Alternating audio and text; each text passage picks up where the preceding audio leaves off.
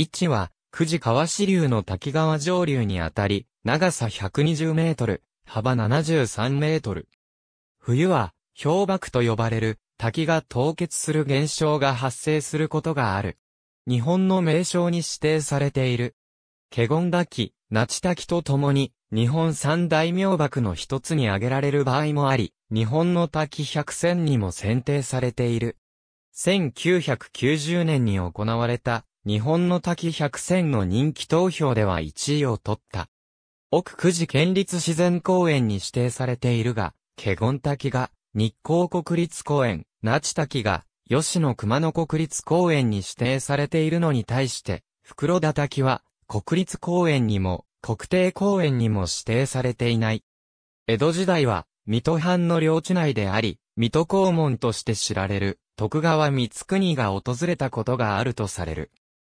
大子町を含む久慈川沿いの地域は、西の闇溝山地と東の阿武隈山地の間にある、比較的低い地域であるが、地質学的には、新生代の中心世の中頃に堆積した地層でできている。地層が堆積した環境は、海では川や沼などの淡水であるが、上位では海に住む貝の化石が発見されるので、海であったことがわかる。つまり、今から1500万年前には、太平洋の方から、海がこの辺りまで侵入していたのである。地層は主に砂岩、礫岩や泥岩からできているが、火山灰などの火山噴出物からできた地層も少なからず見られる。そして、その代表格が、奥久慈の名峰として、名高い奥、久慈南大山を作る、南大山火山隠れ祈願層である。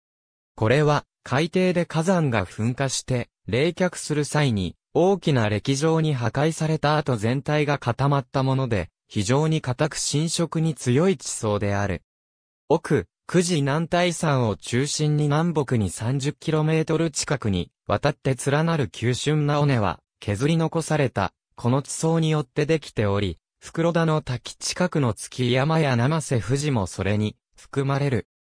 袋田の滝は久慈川の支流滝川の水が、この固く何百万年もの侵食にも耐えてきた、かつての海底火山の噴出物が作る断崖から落ちることによって作られた。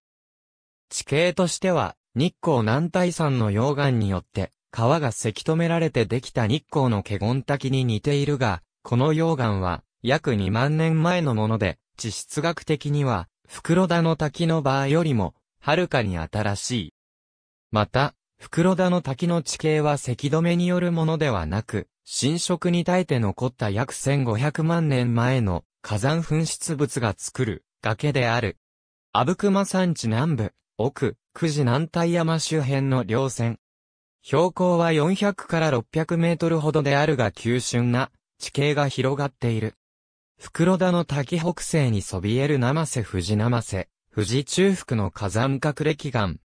滝周辺では、このような火山性の岩石が多く見られる。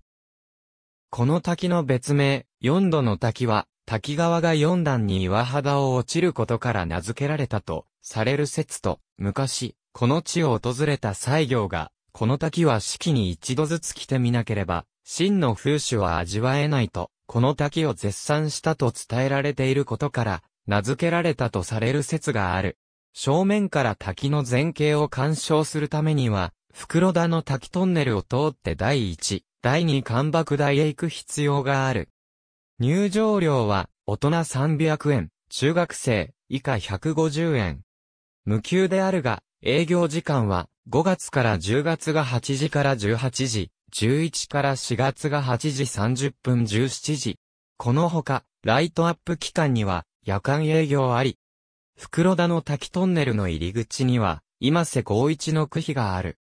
なお、有料の干爆台を利用しない場合も、滝側面、及び滝側面を登り月山へと続く、ハイキングコースから滝の一部を見ることができる。ハイキングコースからは、滝の円を上流側から眺めることができる。